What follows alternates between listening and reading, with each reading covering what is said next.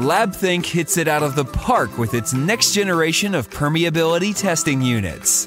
You can run through first with electrolytic, infrared, gravimetric, and humidity sensor methods for WVTR testing. Blow past second with coulometric and differential pressure methods for OTR testing. Round third with our new differential pressure GTR equipment. We welcome instrument customization for niche applications. Our equipment has the lowest cost of ownership in the industry, and we offer a five year full warranty on all our equipment. No matter where you are on the base path, LabThink has you covered.